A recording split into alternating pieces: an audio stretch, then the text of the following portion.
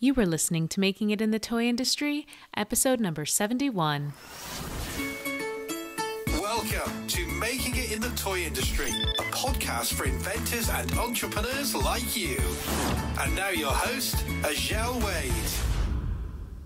Hey there, toy people. Azhelle Wade here, and welcome back to another episode of the Toy Coach Podcast, Making It in the Toy Industry. This is a weekly podcast brought to you by thetoycoach.com.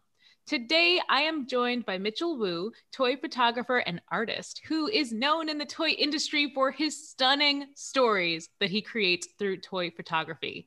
Mitchel is an expert in capturing the illusion of motion and emotion where none exists. And he has worked with dozens of toy and entertainment companies like Marvel, the Disney Company, Hasbro, Mattel, so many. It's amazing. And I'm so excited to talk to him today. And we are going to dive into the art of toy photography. But first, Mitchel, welcome to the show. Thanks so much, Azhelle. It's been a long time coming. I mean, we tried to do this a few times, and as I said earlier, third time's a charm. It's so cool to be here. Thank you so much. I'm really glad that you're here. The first thing I want to say is almost a huge thank you because you were one of the the biggest names to support me and my podcast early on when i when i took like a chance and talked about something that was like a tough topic you just shared it so openly and supportively. And even when the trolls came out you were defending me. I really appreciate you noticing me honestly and supporting me. So thank you. Oh you're so welcome. I mean it's a you had an amazing message and that was probably one of the most amazing and courageous posts that I'd seen in quite a while. So, and it totally resonated with me and I felt it you know, being Asian myself, and we are going through our own challenges right now. But, you know, I just want to support people who have positive things to say and are trying to make a difference. And that post definitely did. It definitely oh, did. So, I mean, thank you. Thank you. But let's talk about you. You are toy industry famous for your photography. I remember once you liked my stuff, I started stalking you on the internet. And then I saw just the coolest images. And okay, to start off, tell us what first came in your career? Was it toys or photography first? Actually, it was neither. I I have a degree in illustration and I spent 20 years in consumer products. And I was in, and not too far from the toy industry. I was in the gift and collectibles industry. So, mm. Whereas, you know, right now my clients are creating amazing toys, the companies that I worked for or my clients back then created really fun giftware and collectibles. And when I say collectibles, that they were either uh, statues or sculptures made out of resin or ceramic, but it could have, could have been something as simple as mugs as well. So, all, you know, the entire gift category, and especially collectibles, is something that I focused on for quite a while. But yes, photography, after I left that industry, photography definitely came first. And that was with corporate photography, headshots, wedding photography, lifestyle. And then after that is when toy photography came in. I've always thought about photography, and I apologize for saying this in advance. I've always thought about photography as probably one of the dying businesses, right? I'm like, who, like, because of all the stock photos and stuff, like, were you nervous about that when you broke into it? No, because let's see, I was probably naive.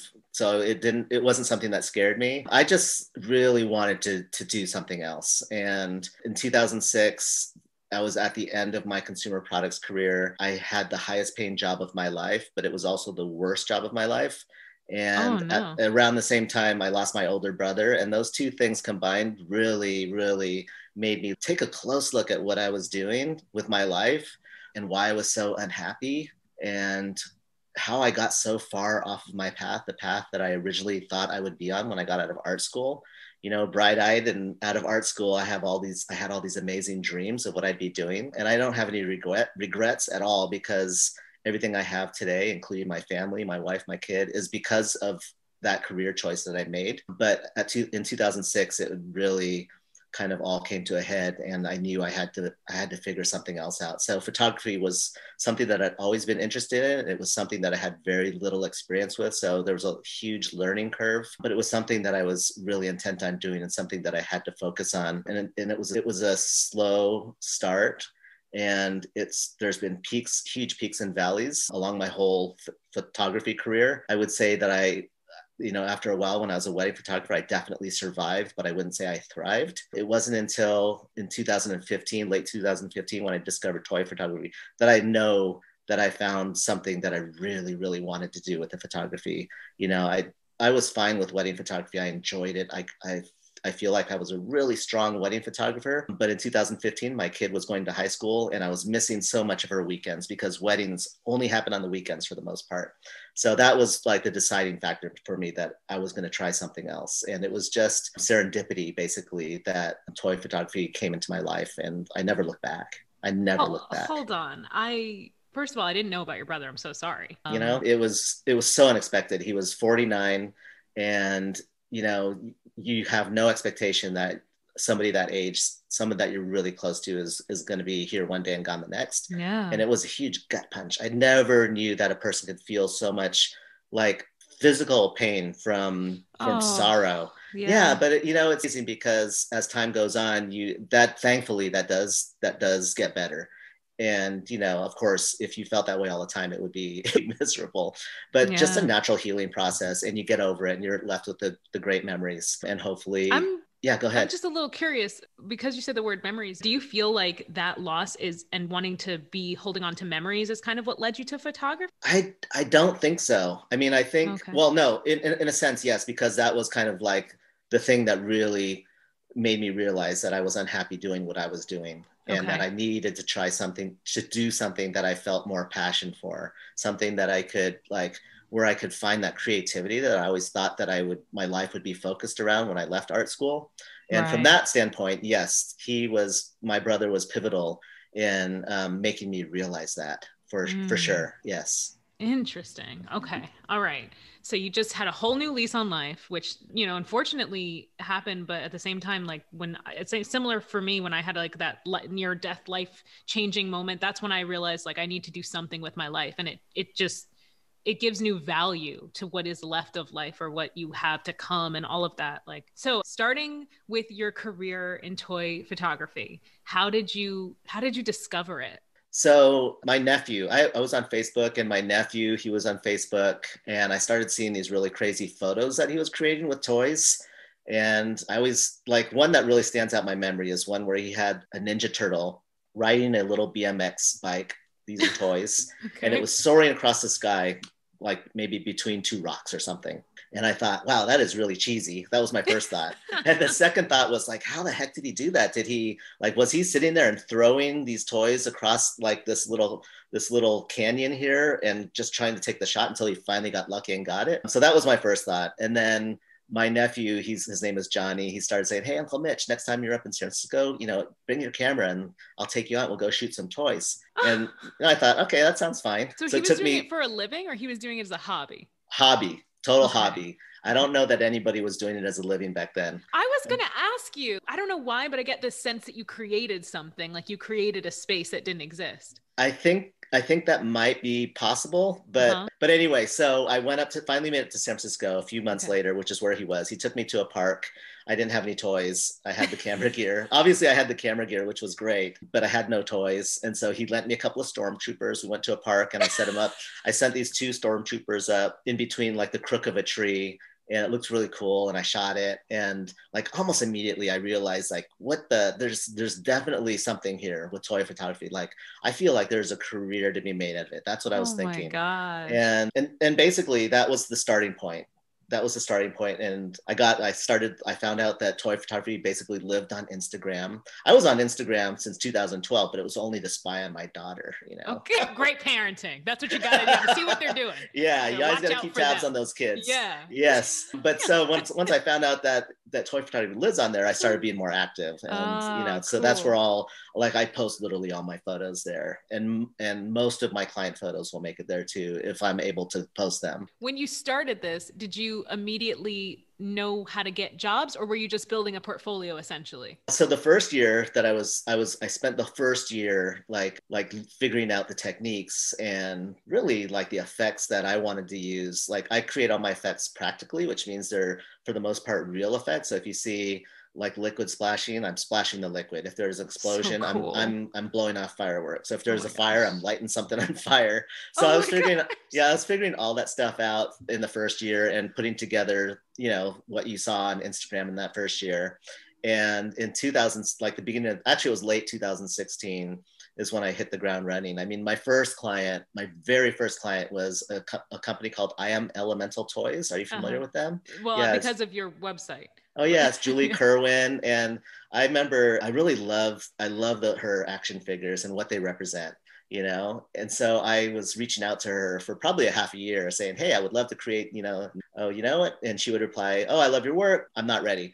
And so I was persistent, and with and probably a half year later is when she finally said, "Yeah, let's do it." So that was my first client, and then I was on Instagram, and I noticed that uh, a certain division from it was it was a brand called Ever After High, and Oh, yeah. yeah, the dolls. And I noticed that they started following me. So as soon as I saw that, I sent a, a private message on Instagram, said, "Hey, I would love to, you know, create some images for you." And like right up, right, like almost immediately, I had a one-year contract with them which was cool. Yeah, which was cool. And then it Oh it just built it just built from there. So it's it started off again that first year was just focused on the craft and putting together the work and then after that it just it just snowballed.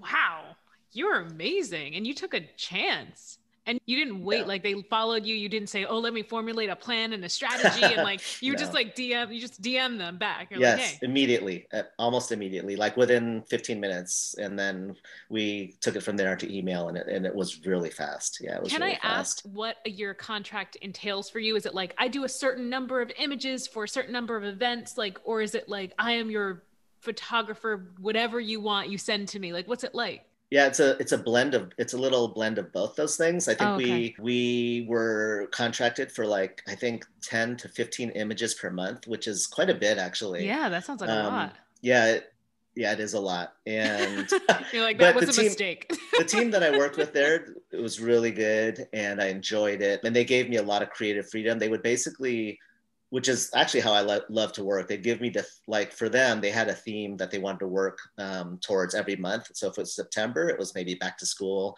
If it was Yeah. summer, it would be summertime activities. yeah. They would give me that kind of theme and then I would just, I would just create the images. And then, Oh. you know, you know, I would basically creative direct my own images, which is cool. At yeah. what point were you? Did you even realize that you had created a job out of this? It was right around then when I got that contract.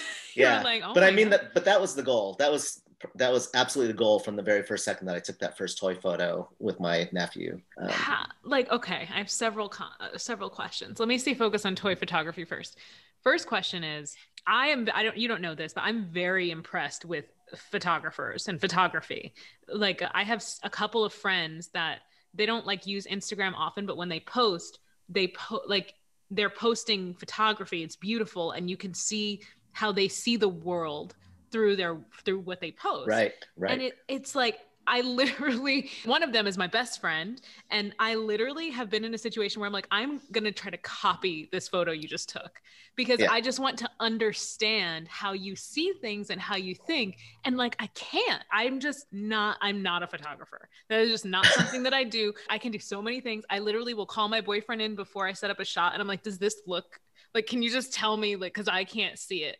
And I'm I'm just curious like what do you have to do to get into your mindset to shoot for toys? Like, what is the toy photographer mindset?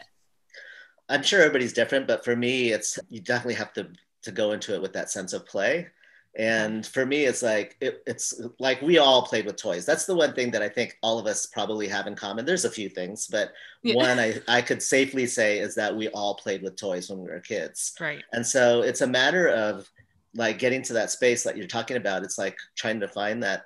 I often talk about that 10 year old kid that lives inside of me. And, you know, maybe at first it was a little harder to find, but right, like I've been doing this for since late 2015. And like that little, that little 10 year old boy basically lives pretty close underneath the surface of my skin now. So where I could get him out, like, but I'll be honest, I've been, I've always been kind of immature and I have a, I have a very, I have a very quirky, strange sense of humor, which sometimes will come out in my toy photography and my personal stuff. And so it's always like, okay, do I want to post this? This is pretty weird, but ah, I'll post it. Yeah, because I mean, it's it's really it's me, and I think if Mm. there's one thing that that like you, myself, and most people have learned, it's that you need to be authentic when you're Yeah. like for yourself for your own self you know Yeah. well-being but it's but it's like that's what people react to i mean it's it's ridiculous to try and be something that you're not so i i try to let out that 10 year old boy as much as possible because first of all it's great for my career. Yeah. second of all it's just it's just fun to have that that kid around too because it, it keeps me happy. And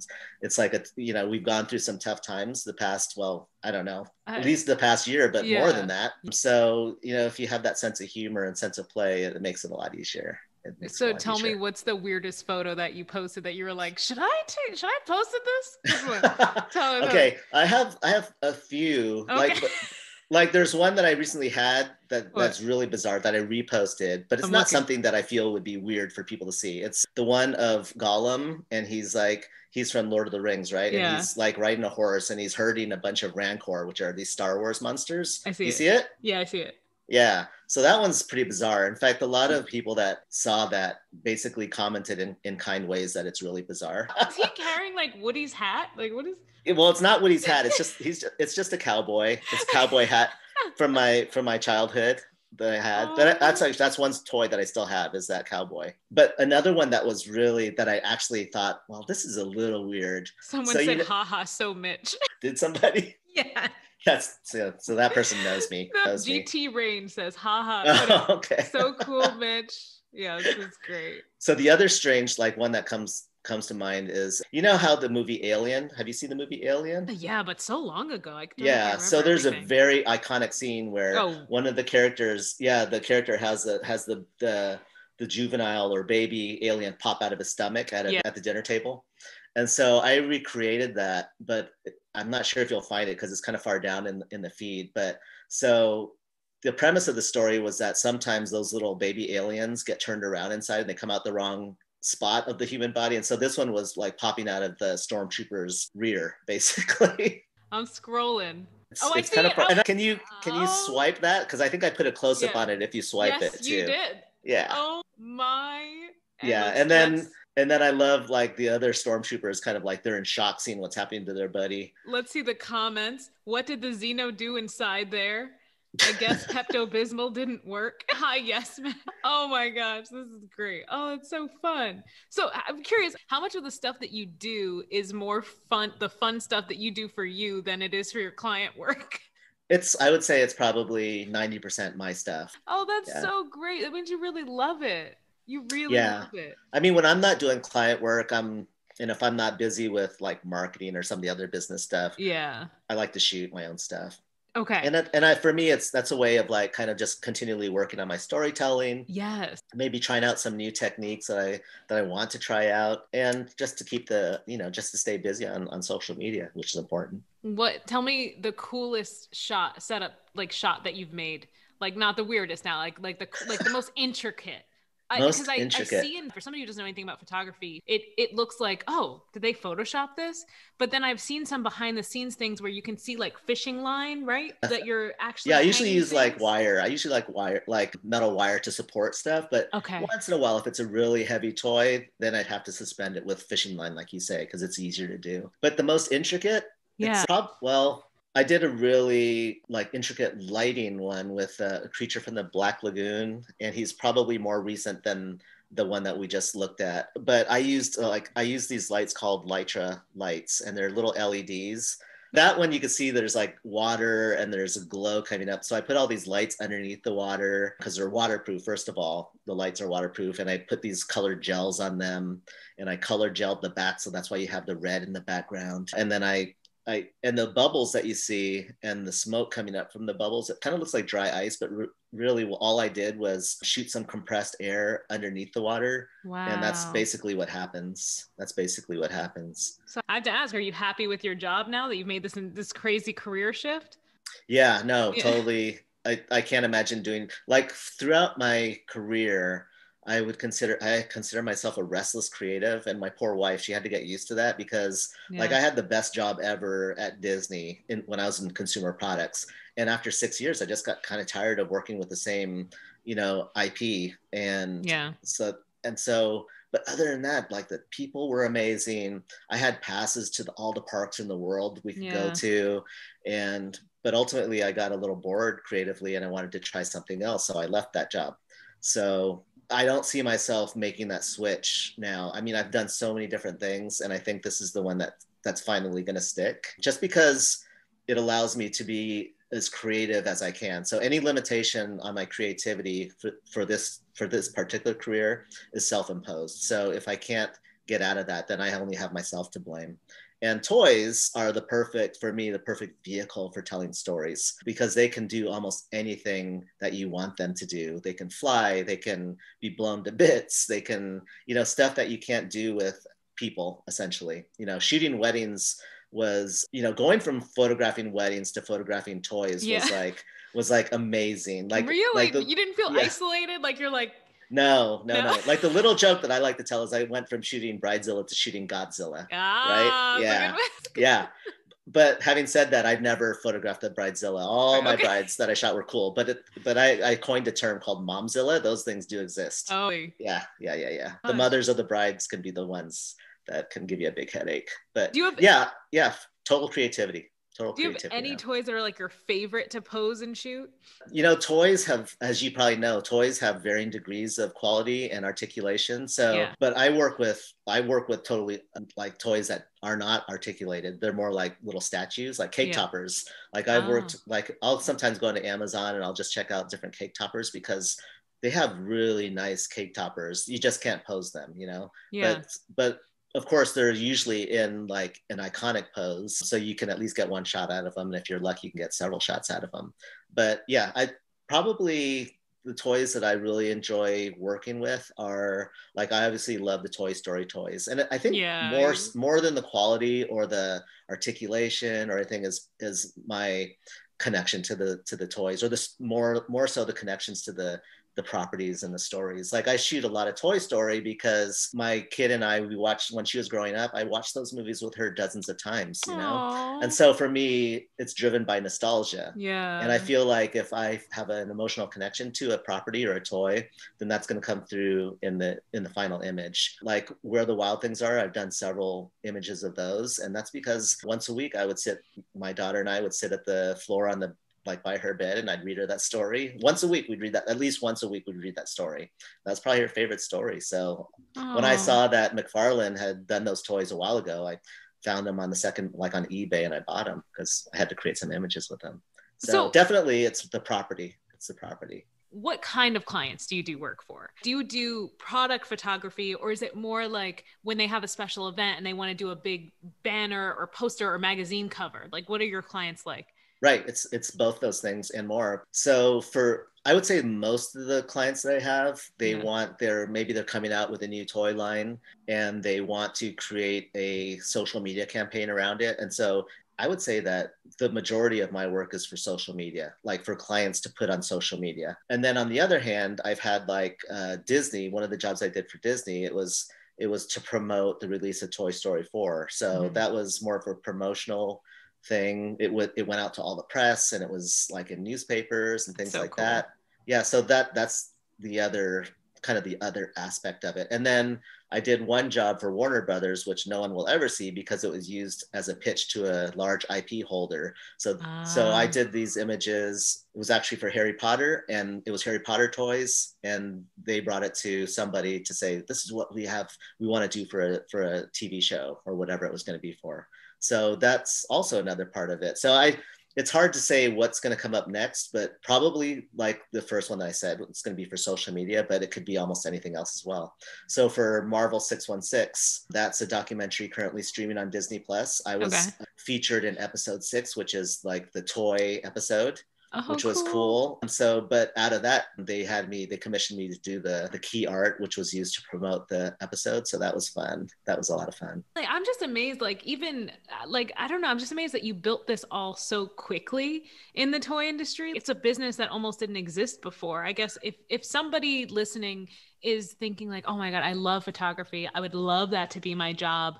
What advice just would you have for them? Just having gone from the very beginning yeah. So you're right. It, back to that point that you discussed earlier. I don't, I feel like I've been a, kind of a trailblazer yeah. as far as toy photography in the industry goes. No doubt there's like thousands of toy photographers worldwide doing this as a as a hobby Mhm. and some of them are actually getting paid jobs through different toy companies now but but uh, i don't think it was a thing five Yeah. years ago for sure and so so if anybody there there are people that would love like the toy photographer i have a lot of friends that would love to do this as a full-time job. I won't lie it's it's tough but i've i've but i always say like i'll talk to any creator any creative person and tell them that you know for me and i think this can apply to almost any creative. So for Mhm. me i've seen both sides. I was a wedding photographer and i consider that one of the most competitive um, genres of photography to work in i was squarely in in the section of, of wedding photographers that i consider a commodity so my prices probably started like if i'm remembering correctly $2000 $2500 for a wedding it went up to probably 5000 but Mhm. that range right there, especially in the my beginning rate, was was probably the most competitive area to be. And so I would have clients meet with me and or potential clients. And even though I love they love my work, I knew that when they left the door, they were going to probably talk to four or five more wedding photographers to price shop them. And Right. if they if they like the if they like the photography, but they also had a killer price, that they would probably get the job. And it was a it was a, a time when I felt I had very little strength in negotiating or in charging what I thought I was worth. Right. So if any creators are listening, I think the key is to definitely find a niche to work in. And my niche is toy photography. And if you don't have a niche, then you have to find a way to really differentiate yourself from your competitors because you need to stand out somehow and you need to be the person that somebody wants to go to for a specific reason, whether it's the specific toy design that you're coming up with, the, photography, or if it's a specific service that you offer. It has to be something that draws a person to you that they can't go anywhere else for. So I I always like to say that, you know, as creators, we need to take risks, but I think for your audience, I think most of them already are, you know, yeah, because they're sure, yeah. because I mean I have so much appreciation and respect for like for sure toy inventors and that's something that Mhm. I even dabbled with when I was like in, in Oh. a previous career but but having said that I never came out with a toy design of my own but I have designed and licensed my own like collectible lines oh, cool. and and having said that like licensing is such an amazing thing to be involved with as you know it's almost like acting you do a job and then for months or years later you still get those checks in Right. the mail which is cool yeah so although i love what i'm doing now I, I would love to you know i would love to to design my own toy line at yeah. some time in the oh, future okay. That's Yeah. interesting. yeah it's just like i think that's the i think that would be the ultimate of course then i'd photograph it myself Yeah. yeah. You would have the best photos. yes so it'd be fun but yeah Think, thinking in that vein, I'm wondering because some of my listeners, like, you know, they start up their own companies, they're really small, and they might say, I'm not ready to hire a toy photographer yet. But do you have any tips for somebody that's just using their cell phone and just trying to eh, take interesting photos of their own? Stuff. Like and honestly this advice can even apply to me because i don't even know like i don't know like when i take a photo i just sometimes get lucky and it's a great composition. This literally it's when you see good photos of me on online my boyfriend took them. I did not take them. So like i don't know any advice that you could give somebody that's created a product and they're like i just want to be able to point and shoot. What should they be paying attention to? Is it lighting? Is it positioning? Is it what is it? Yeah, I would say first and foremost, it's probably light because that can make or break a photo no matter how good, you know, everything else is. Like if Okay, you don't have light. good light, it's just going to look all muddy. There's not going to be any contrast. Yeah, I would say, and as an easy start, like window light is really beautiful. uh-huh not yes. necessarily sunlight coming directly onto your toy, but yeah like more of a diffused light yeah is, okay is beautiful light. And then sometimes if you do that, the shadow can be so strong on the opposite side of the light that yeah. if you just place it could be even a desk lamp just play around with the different um, angles and you can kind of soften that shadow. But i think that's the main key is is light. For someone just starting do you think it'd be better if they're like if they're like okay i just need some basic images but i also want them to be interesting. Would they be better off just like getting a kind of like a seamless background that's one color and putting their product on that or trying to get fancy and like go outside and like do it like in that way for somebody that's just starting out yeah i mean it's two different things so for me it's like i've i'm often well not often but i used to get asked to take like photos of toys for like white on white backdrops for catalogs and Really? for online yeah What? but i i politely i politely turned that down you know because when I started doing this, I just I knew I just wanted to focus on creative storytelling. But for you know, so it really kind of depends on what the person is after. Like if you wanted to shoot a toy, do you is it mm-hmm. more for Amazon? In which case, you're definitely going to want to do Oh the yes, yeah. yeah the white background. I'm thinking more social media. Like, what if they're just trying to fill their their their social media with more angles and images that are interesting of their product? Like, being a beginner, are they better off just going solid background or trying to get fancy outside or kitchen table? Yeah, I mean, I would I would take it outside or or Yeah. or in, even inside with props, and I, I would I don't know if it's getting fancy, but it's and but it's really I mean I so what I think is for me what I think Yeah. is most important is storytelling, right? okay. So okay. so like I'll I'll tell I you like you. like honestly, I would rather see you take a photo of your toy with some kind of story and not be a great photo. I'd rather see that than see you nail the photo but not tell me anything emotionally with that product. Is there like a thing you go through in your head when you're planning a story for your shots? No, there's no thing. There's no thing.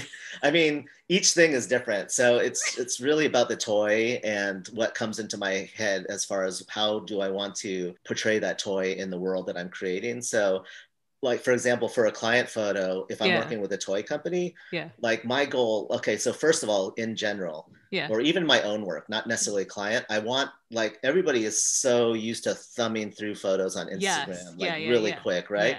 So I want my photo to be dynamic, first of all, Right. to get that person to stop, Stop. scrolling for a Mhm. second.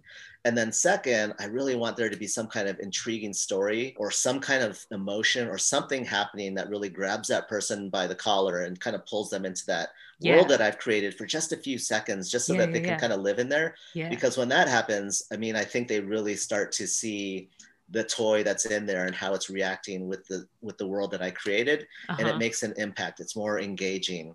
And for a client i think that's exactly what they want. They want people to really engage with the with that toy and the story that's being told in that image because that's what's going to make that person remember that toy. And you know that engagement and getting that impact i think those are the things that a client would be after as far as if i'm creating a- a photo for them so i think it's the same for you or for anybody else that wants to put their toys especially for social media Yeah. it's not just show that toy and like here's my toy you know if here's a toy and there's something really cool or interesting it's tugging on some kind of emotion or it's making you laugh or whatever it is i mean it's a photo so you have to tell obviously when i say tell a story Yeah. it could be like just an emotional bam like immediate impact or it could be something that you infer something and you make that person kind of complete that story in their head Can I pick a photo from your Instagram and have you t- walk me through this story? Okay, I picked this one. I picked the one with Woody and the Slinky dog coming out of the donut, and then there's an alien in the donut. oh yeah Yeah. So- tell, tell so- me the story about this. yeah so for a lot of my images i just want them you know obviously this there's a lot of fun action going on here we have slink dog jumping through the donut and for me it's like the backstory would be you know donuts there's going to be a there's there, somebody's about to have breakfast there they turn their back or they leave the room for a second in toy story fashion they come to life and they start doing Oh. these and they start doing these like really fun fun things or different scenarios so for toy story I love Toy Story, aside from the fact that what I told you that I have a lot of warm memories of it. Toy Story is just great because it's the one chance that I have to create toys using toys, Yeah. and they are toys in the, in, in their storyline in their lives. They are toys. Yeah. So for me, it's like these are amazing because I don't have to worry about you know scaling them to look like they're supposed to be people right. you know they work perfectly with real world environments and props so what kind of stories can i tell in those situations and in this particular day it was just like you know i'm going to have slink dog instead of jumping through a hoop or something like trained dogs often do i'm going to have him jumping through a donut woody's going to be all excited there's going to be donut crumbs flying around and the alien is just kind of like a like one of the audience member he's just there essentially But- Oh, that's so I love I didn't even think like I love that you thought like somebody's having breakfast, what mayhem will they cause? And then like you relate that uh, like that's so this is Right, why I'm and not a so- photographer. oh no no no it's it, it's not that it's again thinking about for me it's thinking about so a lot of some, some like i like where i get a lot of my stories from yeah. like i like to look at characters that we all think we know really well. This is not a good example of it, this Woody one, but other ones I'll get ideas for is like, well, we know because we're told how to, we're told what these characters are essentially. Yeah. Like the writers and the creators, they tell us like Woody is this type of person, Buzz Lightyear is this kind of person, Darth Vader's, you know, so we're essentially force fed what these characters are and we have to go with it because that's what we're told. But my what i love to think about is what are these characters like when we're not watching them? When you know when they're relaxing and not on stage ah. you know what do they do? Ah. so i can get so many really fun ideas from that like darth vader for example. Is he always 24 7 is he a villain or does he relax in his off time you know? So and that's also are, why that stops the scroll because people you're showing people like another side that they're not expecting Exactly. And that's exactly. a really great tip for somebody that wants to do it with their own product. Like maybe they're always showing their doll or something in in one light. It'd be fun to take a turn one day and show like this is what she does when I'm not looking. That's so that's absolutely great... absolutely. It's looking at it's looking at life a little differently through a different lens almost to see the unexpected. Okay. Yeah. How do you see photography evolving and changing with the growing popularity of advertising and shopping online? Well, for, for one thing, for sure, it's very, it's always getting more competitive. You know, oh, that's, okay. I mean, I will say that with the advent of digital photography, it's, it's enabled everybody to really purchase an affordable camera mm-hmm. and hang that professional photographer shingle on the door, whatever they do. And so obviously it's buyer beware, you know, right. but but everybody's got to chase their dreams and do what they want to do. For me, I, I, feel like social media is probably the big change of the most recent years because whereas companies maybe used to have huge advertising budgets, maybe now it's they're they're giving some of that advertising budget to social media because mm-hmm. social media is almost like the new advertising. And yeah. so for you know, like I said, like a lot of my work is for social media. Yeah. And I would just say to photographers out there, like if a company comes to you and says, you know, you know, we don't have a whole, you don't have a huge budget for this. It's but anyways, just for social media. Well, social yeah. media is the new advertising. So, so I would say I would push back on that and say, well, you know what? How else are you going to do your advertising if not through social media? Because this is where where people are discovering and trusting and being told stories about your product. So, yes. you know, I think p- photographers and creators in general have to kind of relook at how they consider social media in their pricing schemes. I also sure. feel like your images could be really good live photos since video does so well on social. Like if even if it's like 2 seconds of your shots would be a really cool way to promote to to get even more reach with your motion motion is definitely definitely important yeah. and yeah and i've always thought about getting into motion. Yeah. But one thing at a time, I think. I so, know. It's yeah. so it's so much. Yeah. It's like where do you want to devote your focus and attention because there's a learning learning process. Yeah. And right now I've carved out a pretty nice niche. So yeah. I think I'm gonna keep focusing on that. But definitely yeah. um, I've played with motion in the past and yeah. I'll probably get there again at some point. If people are thinking like, oh, I really love Mitchel's work, I want to work with him, but I just don't know how I could use this kind of like imagery to really propel my business? Yeah, I mean, that's a really good question. Yeah. I will say that in my experience, the engagement levels are incredibly high with toy photography. So I could be, I think I could be safe in saying that no matter how toy photography is used, if there's, if the goal is to create engagement and impact, I think that it can be uh, the main part of a campaign. Have you ever had somebody come to you and say, Mitchel, I want to drive engagement and this is my toy. What kind of shot do you think we should do? Yes. I mean, I do okay. have that. I mean, and it kind of goes along with them giving me creative direction when they do hire me because for me it's really about again it's really about storytelling so i will never create an image or i will strongly suggest that a client doesn't just have me create a static image of a toy that doesn't say much at all. You know, I, I always kind of liken it to like the summer blockbuster. Like I've been to movies, you know, I paid my $10 for a ticket. I sit mm-hmm. there and, and I watch all these explosions and action. and then a week later, I'm going, what did I even see? I can't even remember anything about it. So yeah. I have nothing against all of those effects because yeah. in the right in the right story yeah it's it's amazing yeah. but the but the key word is the story so mm. i will always highly recommend that stories are the like no matter what a, a company decides to do with their advertising or campaign mm-hmm. storytelling should be at the very base of it and for toy photography again i couldn't find a stronger medium to tell stories with and i mean I, it's not just toys when i worked with mattel they you know, I was doing their Ever After High stuff. I did some Monster High minis, mm-hmm. and then the the um, person I was working with there said, "Hey, how would you feel about doing some working on some some images for our Uno for our Uno not toy line? It's a game, right? It's, yeah, a, yeah. it's probably the most famous card game in the world. Yeah. And you know, I paused. I said, "Well, this isn't even a toy. It's like, right? It's not. It's hardly even three dimensional. It's two. It's sort of like two dimensional." But I, but on the other hand, I always I always told myself that it's really about the story. It's yeah. always about the story, and so I felt like if I could tell an interesting story with that, I would be like I would enjoy it. So Did I said, of course, it? of course, I said yes, I'll do it. And like I always like the first image I did was I had my wife fold these origami swans out of I don't it's down there somewhere. Oh, I'm gonna I had, look for it. Yeah, I heard I had her fold a bunch of origami origami swans out of the cards and I, I positioned them so they out, were wait, flying. Wait, wait, out of the cards? Out of Uno cards, yeah. How did she? Okay, like because they're so thick. How yeah, she... so she tried, and it was really almost impossible. So what I ended up doing was I made um, these really beautiful color copies of the cards, oh, okay. and then and then she folded them out of that.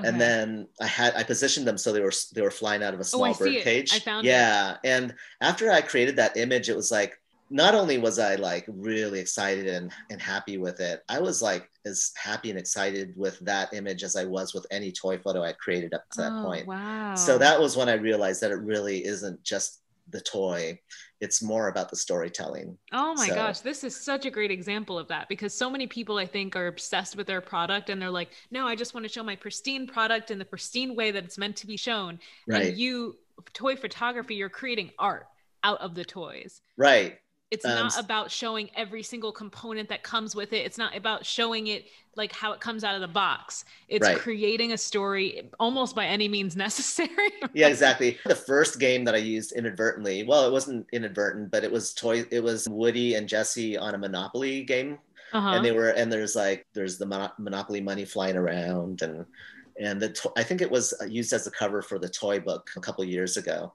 and but that was another instance of like my starting to use games. And it's something that i don't do a lot of but uh, but i've had a couple game companies reach out. It's gone nowhere but just if any game companies are listening i want to do more game photography. So hit me up because i think it's a whole new area for storytelling and just creating some cool very cool images with with game I, pieces Love it. And I hope some reach out to you because games are doing so well right now. I bet yes. they have the money to invest in some new marketing. They right. want to keep it going. Right. Fingers um, crossed. any advice you have somebody that might want to be starting in toy photography or they're struggling with it? What do you have to say? Yeah, I think the the main point, and it would be for any creator, basically, not just toy photography, is really okay. try to find your own voice and try to have your own like develop a really strong style for yourself because it's not it's, there's not going to be any use or it's not going to benefit anybody to come out with a like another Mitch Wu toy photography just as I wouldn't want to go and look like somebody else. But I'm sure that there are so many people out there that have like there are mind-blowing toy photographers doing incredible work right now. It just blows my mind. And it, it, it's all happened within five years like every time I go into Instagram, like my jaw drops. It's like I cannot believe like there's so much talent. So I would take, you know, if you're doing that or if you're just getting started, know that it's just a learning curve and you just got to shoot and shoot and shoot. And don't forget the other part, which I was talking about, is just tell a story through it. So do, those two things. I mean, I could get into like the nitty gritty. Like one would be like always try to bring yourself down to the level of the toy when you're shooting because it makes it easier for the viewer to enter that world that you're creating. So Ooh, rather than, good, okay. but there's rule, there's definitely rules to be broken depending on what you're doing. But in general, that's what I say because if you're shooting from higher up, it yeah. just it just makes them look more like toys, which is okay because I don't try the I never hide the fact that they're toys. I don't I don't Photoshop out like the joints or the seam lines. I right. leave everything in because this is toy photography, you know, and right. toys is like one half of that. So right. I will always make sure that my toys are toys, but again, it's about storytelling and letting the person kind of enter the world that you created. And to do that, try to get down to the toys level, whether that's mm. on a table or like me, I'm often laying on the ground. you know but whatever it is and and don't get wrapped up in the gear initially Uh. you brought up you brought up the iphone there's amazing work that can be done with like smartphone cameras i mean there's there's great editing apps one snapseed i think there's photoshop that you can get on an app on your phone hmm there's almost everything that you could do with a camera like a slr and a computer you can get you can do it on a phone these days so i would say don't let like the camera if you don't have it be a roadblock to like starting because it doesn't have to be yeah just i mean if you're interested in toy photography even you So I would feel love like to I'm a see you lost try cause. it. No, you're a- not because because there should be no expectations. There should be no expectations on what you should create. Just get your toys and try and tell a story. you Maybe know? I will. Yeah, Okay. yeah. And remember, I would much unless you're doing it professionally. Yeah. I, I say technique is like secondary to storytelling. But uh, obviously, if you're doing it professionally, then the two have to be the two need yeah. to be good. Like, They Uh-huh. need to be solid. But as you're just starting out, it's like I would say focus on the storytelling because everybody just resonates to stories, not the actual photography. you know? Yeah. Oh, I love it. Thank you so much for the all these. I love the end. The end. You just blew it up with all these tips. Thank you, Mitchel. Thanks for being here. You're welcome. You're And welcome. where can people cool. find you? My website is www.mitchelwutoyphotography.com. If nobody, if anybody's wondering what I do, I think that. Instagram, your Mitchel Wu Photography. Yeah, and then and it's one L in Mitchel, and on Facebook Mhm. I'm Mitchel Wu Photography. Twitter I'm at Mitchel Wu Photo. I will Yeah. make sure to put it all in the show notes. Thanks so much for being here today. It was a pleasure getting to know you and chat was with fun. you. I'm we finally did it. we did it. Yeah, you're awesome. Keep being awesome, Michelle. There you have it, toy people. My interview with Mitchel Wu, the Instagram verified toy photographer that you need to be following. Mitchel's conversation today really changed my perspective about toy photography and, honestly, photography in general. If you want to see the full video of our interview, head over to club.thetoycoach.com because it's not too late to grab your 30 day free trial of the Podcast Insiders Club. As a member, you'll get access to the extended audio and video of today's episode. And trust me, it's really great stuff.